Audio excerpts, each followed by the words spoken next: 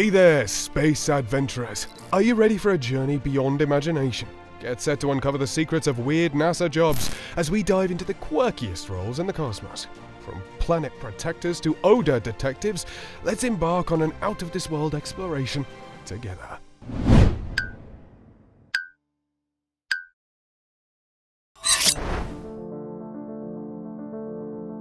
First stop, the Planetary Protection Officer, the guardian of celestial cleanliness. Imagine this you're tasked with ensuring that our spacecraft and rovers don't contaminate other worlds. It's not just about keeping our space gear squeaky clean, it's about preserving the integrity of potential extraterrestrial ecosystems. After all, who knows what wonders might be awaiting for us beyond Earth's atmosphere?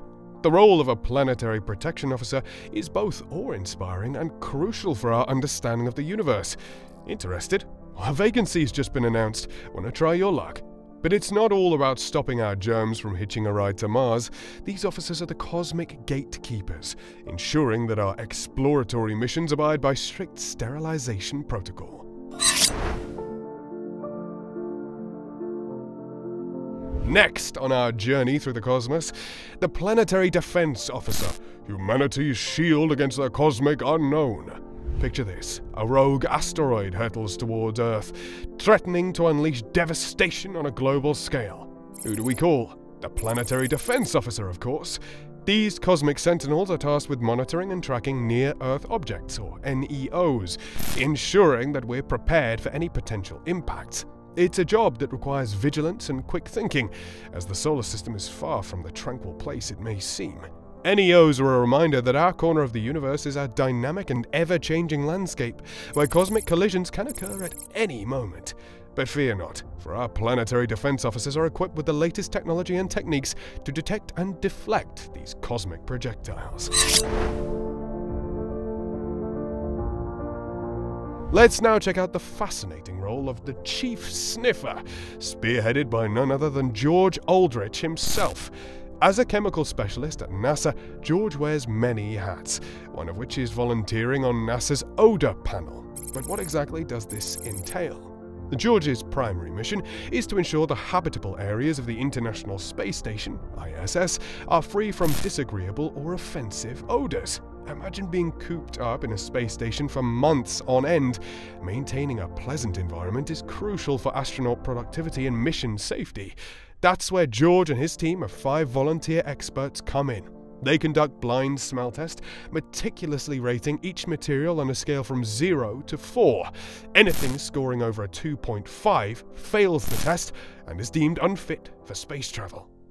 But George isn't just your average sniffer. He's earned a slew of notable titles, including Nasalnaut, Master Sniffer, NASA Nose, and even Nostrildamus. His dedication to ensuring the ISS smells as fresh as a daisy hasn't gone unnoticed. In fact, the smell test protocol was implemented after the 1967 Apollo Saturn mission fire, highlighting the importance of safety protocols for materials on board spacecraft. Georgie's contributions haven't just stayed within the confines of NASA. He's been featured in Stan Lee's Superhumans documentary series and received NASA's prestigious Silver Snoopy Award for his outstanding contributions to flight safety and mission success.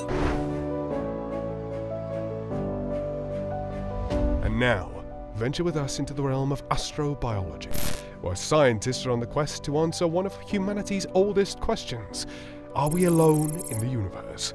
Meet the Alien Hunters, intrepid explorers searching for signs of extraterrestrial life in the most unlikely of places. From the depths of the ocean to the frozen wastes of Antarctica, these scientists are pushing the boundaries of our understanding of life's potential. After all, if life can thrive in the harshest environments on Earth, who's to say it can't exist somewhere else in the cosmos? But their quest doesn't end on our home planet. With missions to Mars and Jupiter's moon Europa underway, we're closer than ever to discovering whether we truly are cosmic outliers or part of a vast interstellar community. Finally, let's get to the world of space law, where legality meets the final frontier. Imagine navigating the complex web of international treaties and agreements governing humanity's exploration of space, just free from the shackles of terrestrial disputes. A daunting task indeed. Space lawyers are the unsung heroes, ensuring that our cosmic endeavors remain peaceful and equitable. From drafting treaties to handling liability cases for space debris damages, their work is essential for maintaining order in the cosmos.